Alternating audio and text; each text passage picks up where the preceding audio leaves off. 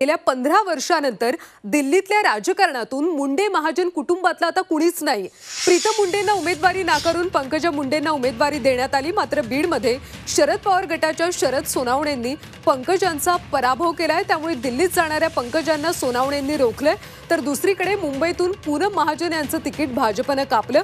त्यामुळे आता भाजपला सुरुवातीच्या काळात उभारी देणाऱ्या मुंडे महाजन कुटुंबातलं कुणीही सदस्य दिल्लीच्या राजकारणात नाहीये.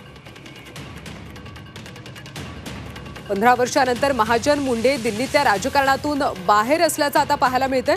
कारण बीडमध्ये पंकजा मुंडेंचा पराभव झालेला आहे तर तिकडे मुंबईतून पूनम महाजन यांचं तिकीट भाजपनं कापलंय. त्यामुळे आता भाजपला सुरुवातीच्या काळात उभारी देणाऱ्या मुंडे महाजन कुटुंबातलं कुणीही सदस्य दिल्लीच्या राजकारणात नाहीये.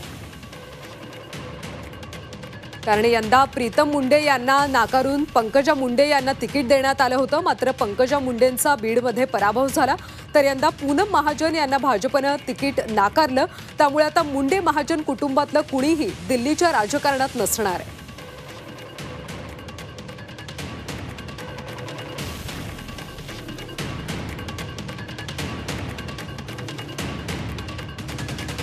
मुंडे आणि महाजन कुटुंबातलं सुरुवातीच्या काळात खरं तर यांनी पक्षाला खूप उभारी दिली होती. दिल्लीच्या राजकारणात त्यांचं वर्चस्व होतं. मात्र आता पंधरा वर्षानंतर दिल्लीच्या राजकारणात मोदी मोदींच्या या सगळ्या काळामध्ये मुंडे आणि महाजन यांच्या कुटुंबातलं कुणीच दिल्लीच्या राजकारणात दिसणार नाही